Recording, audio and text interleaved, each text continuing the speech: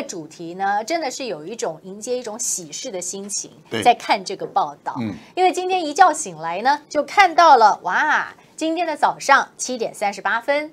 嫦娥六号上升器带着月球的样品从月球的背面起飞了，而且成功的进入预定的环月轨道。嫦娥六号对它这个真的是世界的第一次哦对，再度写下历史。嫦娥六号完成世界第一次的月球背面采样跟起飞，哇，这真的是不得了了不起的任务，赖老师。呃，这个是所有我相信海内外全体中华民族的骄傲，嗯哼，他们也会觉得很光荣。是啊呃，中国的探月计划是走难的路，是不是走简单的路。哦，很多国家它是走比较简单的路，比较保险，对，但是简单也做不好。那中国人是走最难的路啊，但是最难的路也做得最好，真的是不简单。你的意思是说到月球背面，这个叫做挑难的路走？呃，对，月球的背面的南极，观众朋友，您想想看，在这地球，这是月球，它的背面通讯怎么办？嗯，你通讯不连不连通，就被月球挡住了。对那你怎么去遥感？怎么去控制？怎么向它指令给它？对，难道它要全部都自动化吗？也没办法嘛，对不对？这个时候怎么办？所以中国就必须要搭一个鹊桥。对那鹊桥就作为中继卫星，是那么由地球鹊桥再连接到啊这个登着陆器啊登月器，登月啊器，登月器跟采样器啊，就让它着月。那各位想想，这个是都是分秒必争啊，啊，所有的动作都是非常细微，更何况是，呃，当要开始着陆的时候啊，它不是一件容易的事哦。是的，是的，因为它没有办法用降落伞，嗯，所以它必须要用反作用力，好、用反作用力。可是你在背面的时候，由于月球的背面常常都是各种陨石打到的一个地方，哦。所以陨石坑特别多，对。还有就是山脉也特别多，嗯那陨石坑跟山脉都特别多，所以过去俄罗斯曾经。啊，想在背面登月过，也是走难的路，嗯但是撞到这个山脉没了。对哦，，再也后来啊，这个苏联就再也没有就没有下一次了，是，那这是中国第一次，嗯，第一次就成功，所以各位想想，您想一个着着陆器啊着月器哎，要选定位置，对，所以那是地面的工程师跟科学家已经对月球的背面嗯。已经经经过很多的研究分析，嗯已经把大体的位置已经标定好了。对，然后所以轨道哪一个地方切进去，在哪个位置。但是到最后的时候还要看这个地方的地形地貌，嗯。就越行越茂了，嗯是还还行不行？对？都要到很好的时候才让它下来。是各位想这不容易哦。说第一第一部分，第二部分呢，它的不容易地方在哪里？采采样，嗯。把土采起来，而且还要钻，嗯。钻的话是要把岩石也要拿起来，啊。然后再装回来，对，然后其实里面有个最重要的地方在哪里？什么？最重要的地方是把国旗去升上来，是，就是五星旗啊，五星旗我看。到了，今天那个就那个画面啊，对。就一播出来，这个画面对，就在这儿，是。我觉得实在是非常的神奇，因为你看到它这个是算是机器手臂吧，是的，伸出来这小手，然后呢，就第一次可以在月球动态展示五星旗啊，观众朋友，月球极冷极热，太阳光照，嗯，对，然后所以你要抗热抗寒，嗯而且呢还要在那个地方能够经久。对，所以它不是一般的我们的棉的或者什么样的不织布，哎，它不是，不是。它是用玄武岩。玄武岩，玄武岩，对。它把它敲碎、溶解再织出来的。对对对，好，这个是第一个。是。第二个在哪里呢？呃，如果依照我们现在在地球上的现行的的国际法，嗯，的原则，嗯嗯，我们叫做先占原则，哦，先占原则，就是先到就先，谁先发现，谁先占领那个地方就是他的。所以严格上来讲，严格的定义上来讲，月球的南极已经属于中国的了。恭喜各位！是是是，所以换句话说呢，这里面实在一方面有太多的第一次，都是史上头一次，而且是全球都看见。对然后再加上呢，在刚才你光是从升空。然后登月，啊，就说它，而且它是在月球的背面，呃，背面南极是这个地方已经是地形非常的什么？非常的崎岖不平啊，然后再加上坑坑洞洞，所以要花很多的时间去研究好，到底要在哪边登月才比较嗯容易成功嘛，对不对？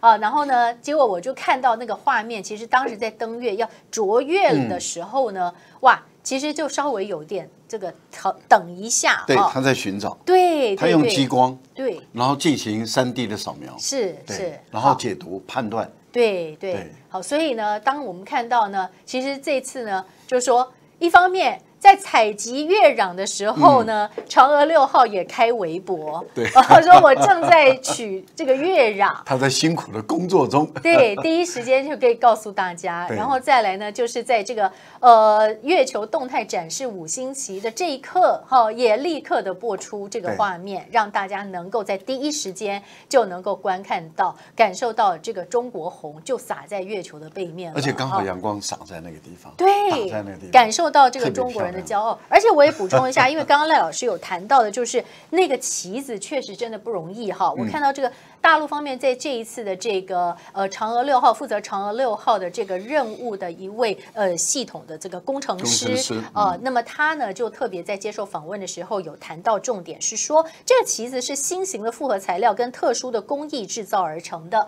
而且呢是玄武岩取材自玄武岩，这玄武岩呢是来自于河北哈，河北。河北先粉碎。然后再融化，然后还要再拉丝，这个丝还要拉得够细，嗯细到什么程度呢？他说是一般头发的三分之一细。哇，对我们讲的一般嗯发丝已经是够细的了哈，那但是呢，它可以拉到这么样的细，细到这个程度，然后再把它呢这个做成线，好，再织成布，所以才会看到了今天这一面五星旗。让它耐久，对，它才能够耐寒、耐耐热，哈，耐这个外面的这个环境啊，那么能够在这个地方哈展现出中国红，中国人的骄傲，是的，真的是很不容易啦。那坦白讲，哇，我就想到说，原来是可以从石头来织布，嗯，这不简单。真的真的是蛮神奇。其实插旗的意思是说这个地方是我的啦，是是那所，以各位，因为它是无主人嘛，对，那现在是我的了，是。所以中国可以在那地方去随嗯。随意的随意。开采，好，重点来了。现在呢，既然在登月成功了之后，那我们就想，那接下来的这个研究成果谁嗯能够取得？你光是看到在今天，哎，我们看到这个画面呢、还有上对照片，没有黑黑的、啊，是亮亮的啊、对那是的。赖赖老师，你知道之前那个 NASA 哈，美国的太空总署的局长，他是说这个。因为美国它没有成功嘛，对那结果呢？当时还说这个月球背面是黑黑的，嗯，哦，哎，结果大家今天一看有吗？还还蛮亮的吧，对不对就是说这个这个说法跟 NASA 那个局长说法不太一样啊。呃，这代表他的知识可能还要再加把劲。没有没有没有没有，他太空人出身，他也是很懂太空科学。呃，但是我觉得懂得还是有限的，哦不然怎么会判断说，呃，月球的南极是黑黑的呢？是，所以现在呢，你看美国也很想要取得这个成果。美国现在真的是很怄啊，嗯对因为什么呢？哎，让让中国人、中国的科学家捷足先登了，对这还得了？所以他因为南极的这些月壤特别宝贵，月壤啊，月壤对特别宝贵，是哦，啊，因为它可以去探索嗯。啊这个宇宙的生成的原因。是。啊，因为它的那个地方的撞击有很多的陨石在里面，是。所以可以了解更多的事情。是是是，所以我觉得中美在太空的较量上面，现在又上了另一个台阶啊，呃，可以这么讲哦。美国嗯。美国呢，现在我就问他，就说他的那个成果，他现在能取得吗？因为我知道他们有申请，哎，呃有一半以上申请的国家里面，呃排队的人啊，或是件数，嗯。一半是美国人，是，但是我觉得恐怕不容易。嗯，不容因为易，不容易。嗯，呃，这次跟中国有合作的啊，例如说啊，这个欧洲的航空局是。啊，跟中国有合作。嗯哼，我觉得中呃欧洲分享到中国的这些宝贵的资源嗯。是几率是最高的。嗯哼，然后有法国啊，法国这次他们的东的探测仪，啊冬气，大家知道吗？冬气就是那个气体的气，但是里面写的是冬冬天的天的冬哎，冬啊，因为它是水的一个非常重要的一个成分，是，所以他们要去探索有没有水的可能性。哎所以我觉得法国获得的机几率也很高。嗯另外还有意大利，嗯，哦，意大利也有参加。嗯呃，我觉得中东地区里面的像沙特阿拉伯啦，或者巴基斯坦，我觉得他们获得的可能性都是比较高的。嗯那不友善的国家像美国，美国当时对中国大陆是极端的不友善。我觉得美国可能要慢慢在努力排队，而且呢，要尽快的改变你的态度啊。以前犯错了就认错，该道歉的就道歉，该赔礼的就赔礼。然后呢，既然要赔礼嘛，先送上礼物，中国收了，当然就会还给你一些礼物吧。嗯我觉得你讲那个礼物太含蓄了啦，基本上就是美国看看他们有没有什么样的科学研究的成果，其实是中国大陆一直也很想要取得的。是的看看要不要来交换嘛。可以合作嘛，对不对？对呀、对呀、好，所以呢，今天我们看到这个是真的是历史性的一刻嗯哈、我想大家也都可以感受到的那种振奋。事实上呢，这边有个数据提供给大家。好，这次呢，我们看到在二号的时候，嫦娥六号成功的登陆到月球的背面啊，那么呢？展开搜集样本的任务，后来就开始发布录这个着陆的影像，三十八万公里，对。三十天到达，嗯，然后呢，最后落月九百多秒的时间，对，而这次呢，大家就说真的是可以打出一个接近完美的高分数。应该就是完美了。好，接近完美是肯定啊，接近完美是他们呃中国的科学家他们对自己的要求更严了。是啊，，但是我觉得事实上是很完美的。对呃，您看美国着陆呃着月的位置是很容易的，对但是结果呢，就一只脚跨在岩石上了，所以他那个，然后他的呃太阳翼板就伸展不开了，被卡住了，所以等于是失败了。好，然后日本呢就倒拆中，呃倒下来，倒下来，整个翻过来对。那现在翻不过来了，那也是失败了。失败啊，也是选择在比较容易登呃卓越的地方。那印度更有趣了，嗯，哇，印度刚开始的时候兴奋到不行啊，结果马上就进入了睡眠，然后就再也一觉不起了。啊，是啊那也是失败了啊。嗯所以我个人认为说，那中国是在容易的地方，其实容易也不容易了哈。但是在比较相对比较容易的地方，中国都是成功的哎。但是这次选择最难的地方也成功了，不得了，讲实在话。好。不过坦白说了，哈，我。真的也很想要知道，我觉得我们也希望看到更多的一些分析报道，对让我们知道说为什么别人做不到的，中国大陆做到了，对不对？一步一脚印，这就是欧洲的航空局的一个总工啊，他自己因为有记者访问他嘛，哦，然后他怎么看中国他还没有呃还没有发射之前的时候，他就说他信心十足，因为欧洲这次他们呃也也也是下了重本了哈重金，因为做那些东西都很昂贵的。你想想看，他如果没有信心，他干嘛要选择跟中国大陆合作？对，然后对不对？这个时候记者问他说：“你为什么那么有信心？”他说：“中国的路线图都是很扎实的。”对他用 roadmap，哦对，就是很都很扎实的。然后他又说，中国都是一步一步走的，嗯所以中国的过去的记录里面，它几乎都是完美的。对。那跟其他的国家，他没有点名美国了，啊，他说跟其他的国就不家点名了，就不太一样。是。所以他觉得中国的成功的几率是最高的，因此对于他来讲，他充满了信心，是。所以他很愿意下重本，嗯，因为中国是载具嘛，那它是有一部分的探测仪嘛，是。所以对于他来讲的话，那探测仪都很贵的，所以他很愿意啊投资在中国上面。不过他有个担心，嗯，他担心到最后美国会从中作梗，哈哈，还想干嘛？因为中国，因为俄国的上议院啊，就是联邦委员会哦国会里面的上议院是已经批准了这个中跟中国合作的探月计划。嗯，那俄国已经批准了。是哦，那也就是说，俄国政府一直要跟中国合作，嗯，来探月。那他现在上议院也批准了，对，批准了以后，现在呃，欧洲在讲说，呃，如果中国跟俄国合作的话对，那就会影响中国跟我们欧洲的合作。哦。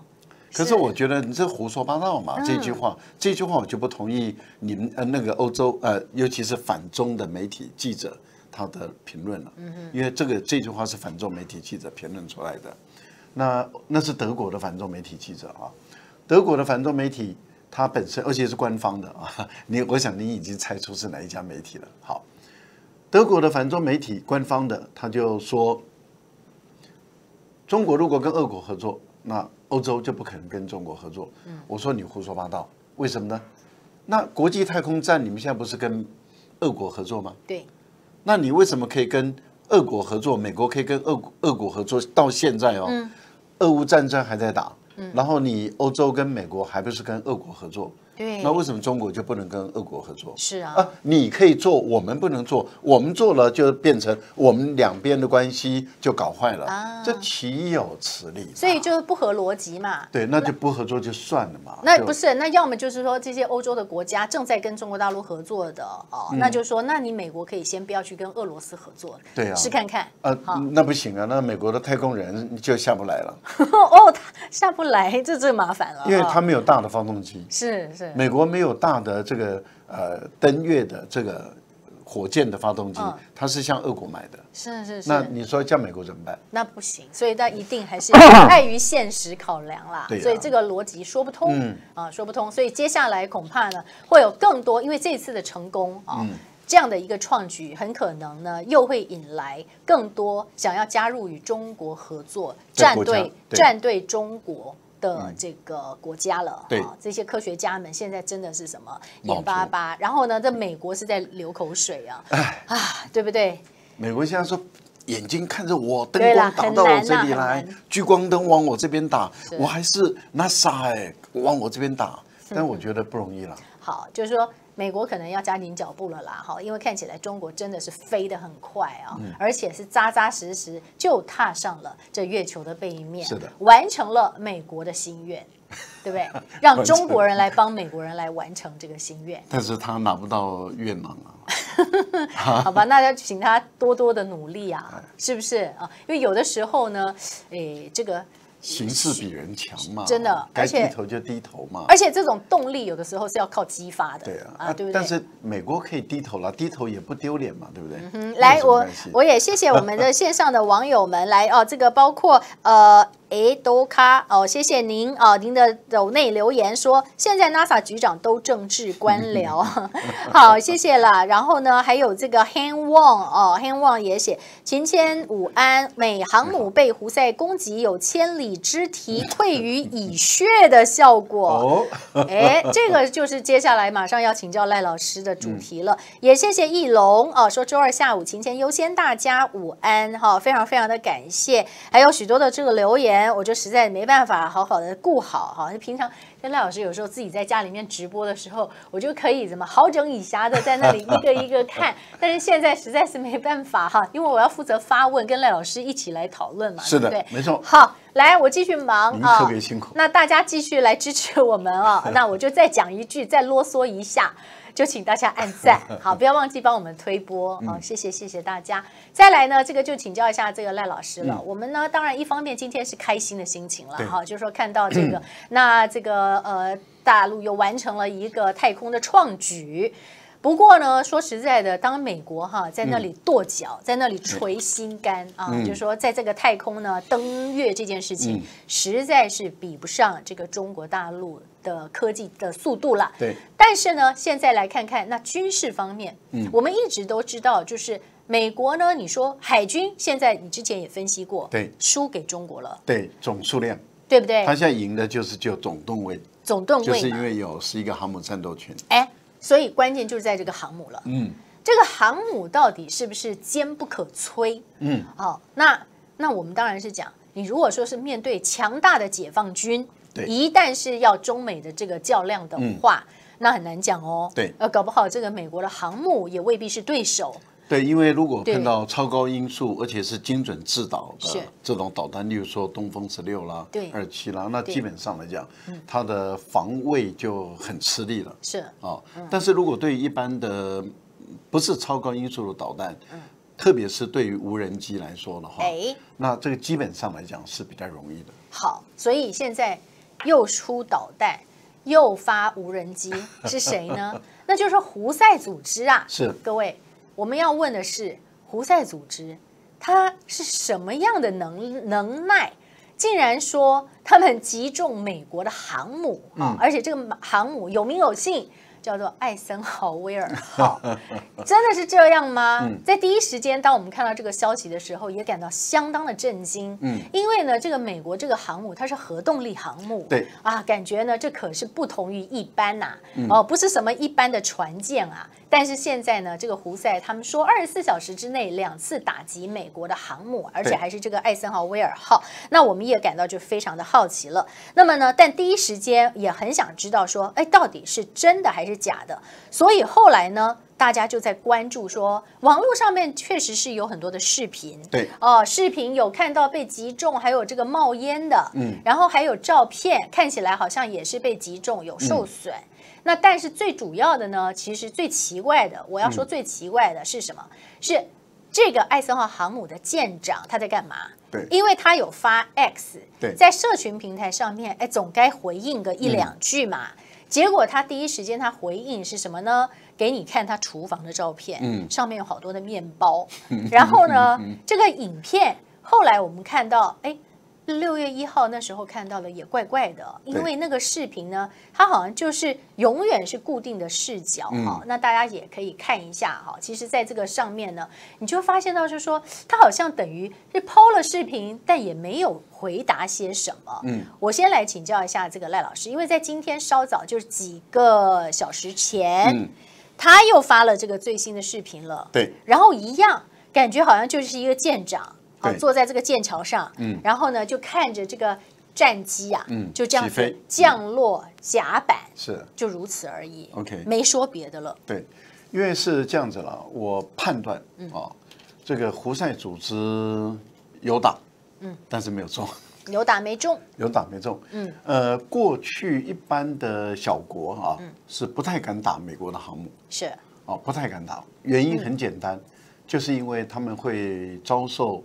美国航母舰载机的报复、反击、攻击，是，所以他们通常打了以后，你的目标一一一一铺路，那个舰载机就过来了。哎，呃，原因很简单哈，观众朋友，嗯，就就这个最新的视频啊。航母通常在航行、在执行勤务的时候，它并不是没有带刀护卫保护它。哦，它的带刀护卫是很严密的。要保护它，嗯，因为它一个这么大块头的一个航母，嗯它基本上来讲没有带刀侍卫是不可能的。是，那带刀侍卫里面当然包括导弹驱逐舰跟护卫舰，嗯，啊，还有在水底下的这个核动力潜舰，嗯，可是还有一个是二十四小时一定要一直待命的，那也就是舰载机，嗯，那舰载机就一直要在航母的外围外圈里面，要在这个地方来警戒巡逻，保护航母的安全，是。那通常是这样，如果说有人去攻打美国的航母的时候，那这个时候啊，他们发现了对方攻打我，嗯，那他们的舰载机那么就会出动，嗯，去攻打那个打航母的那一个国家，它的军事武装，哦，是，所以通常一般的国家他们就比较少会敢去打这个美国的航母，嗯嗯，可是胡塞组织敢打，这个就代表什么？这已经代表美国的航母不被打的这神话已经被打破了，而且被打破竟然是由胡塞组织所为。对，这个就是你讲的，就是啊，他有这个能耐呀，有这个能耐，他有这些家伙吗？对，摧毁得了吗？那目前是没打到，对，我估计是没打到。嗯嗯嗯。哦，因为如果打到的话，一般来讲，为了安全起见，舰载机是不能起飞。哦，为什么呢？各位观众朋友。你有没有看到一个画面？我想你有登，你有登陆过这个美国的核动力航母。哦，对。那他们的他们的地勤人员都要排成一大排，嗯，一段时间，嗯，就要这样子从头到尾走一趟，嗯，就是要去把那些小碎片都要剪掉，哦，对不对？他们一定要清嘛。对。为什么？因为航母的飞机，你想想看，速度那么快起飞，对，跟那么快降落的话，如果有一些碎片扎到的那个轮胎一爆的话，那不得了，那个飞机马上倾斜就掉海了，或者是撞到剑桥。对，所以基本上来讲是一定要很干净的。对，好，那你想，这个舰长为什么要拍这个新的影片？就是告诉你说，我的航母还在正常的起降，就代表我的甲板。干净的不得了，没有任何碎片，是是，那就不可能被打到。嗯，被打到就起飞不了了。对，没所以，那个影片就是造假。可是我们在强调，他有被打，但是没被打到，而且是啊两次，然后呢是导弹跟无人机，一般来讲应该是六架次。哦，所以对于美国来说的话，那我们就问说，那美国为什么不报复？报复他们。啊，问题就在胡塞在哪里？对，胡塞在哪里？胡塞在哪里？像游击队，呃，对，他是游击哦，队，像幽灵一般是窜打完了来窜去，他就跑了，然后就是变成是美国不知道打谁，第一个啊，然后要怎么打，然后打了以后呢，它本身又有风险，因为它很有可能又会受到防空飞弹的打击。是是是好，这是第二个。第三个地方就在于浪费子弹，哦，因为炮每一枚每一枚炮弹都很贵，嗯，就是那种导弹都很贵，是。所以我觉得在这样的一个情形下的时候，我们就会问说，那美国的海军陆战队为什么不登陆到也门，去跟胡塞组织对打？美国跟英国也不敢，嗯。为什么？因为一上去以后，基本上来讲，啊，打赢的几率是很低的，而且会卷入另外一场跟阿富汗的战争一样。哇，那是噩梦啊，还要再做一次吗？是的，，然后最后呢，灰头土脸的撤走。是所以占领不了，控制不了，然后也阻止不了，就只好一直不停的挨打。然后等到有一天，如果真的有一枚成功了，钻进去了，那嘣一下子，那美国的颜面就丢光了。从此以后，绝大部分的国家都不再不会再怕美国了。好好好好，我们还是 先相信一下，就是说今天至少看到这个舰长他发的那个最新的视频，因为看到他还是有正常的这个降落哈。那刚刚赖老师就讲，就是说如果以从军事角度来说的话，只要这个影片确实是真的，就是说是今天最新的哈，那这样的话呢？呃，就代表就是说，它其实是并没有受损，因为如果真受损的话呢，就不会发生像现在这样的一个状况啦，哈。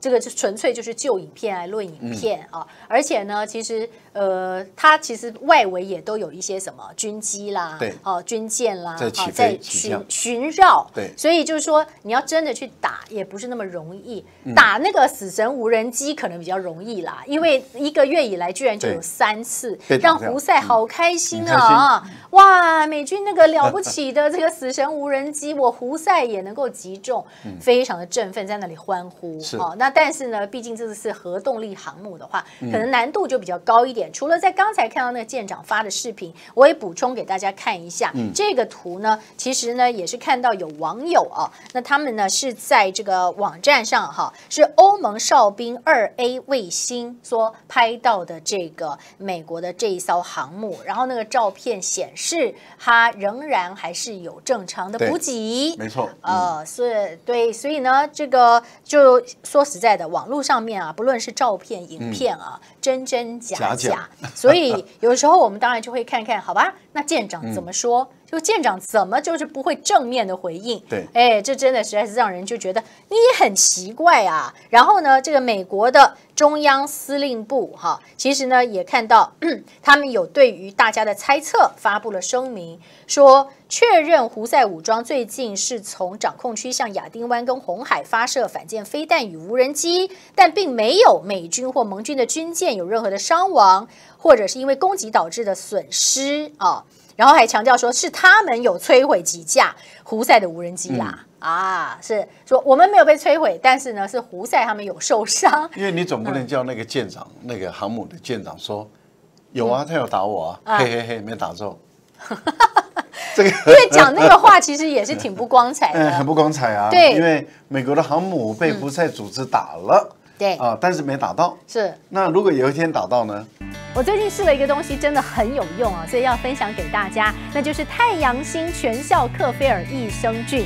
哦，吃了两三天，真的有明显的感觉。最主要就是睡眠的品质变好喽。那你知道，这个睡得好呢，整个人工作就可以更加的专注，当然情绪也就变得更好了。因为太阳星全效克菲尔益生菌，我才认识了这个克菲尔益生菌。它是由多支菌种益生菌所组合而成的，不但是能够维护消化道机能的正常运作，而且呢还有多种有益健康的保健功能，非常的强大。有台大教授专门研究它，把它叫做神仙的礼物。而您知道吗？有上千篇国际研究证实，克菲尔益生菌不仅是帮助肠道健康，肠道菌透过肠脑轴影响全身的器官，所以维持肠道菌总的平衡，这是解锁身体健康、精神健康的钥匙。对于帮助睡眠、维持好情绪，真的是很有感。也因为这不是药。有季节敏感、代谢困扰、关心恶性细胞风险的好朋友们，选择太阳星全效克菲尔益生菌，做好日常的保养，身体轻轻松松，没有负担。每日克菲尔，时刻美好，Good feel feel good，请上快点购为健康下单，也记得输入推荐码，有额外的折扣哦。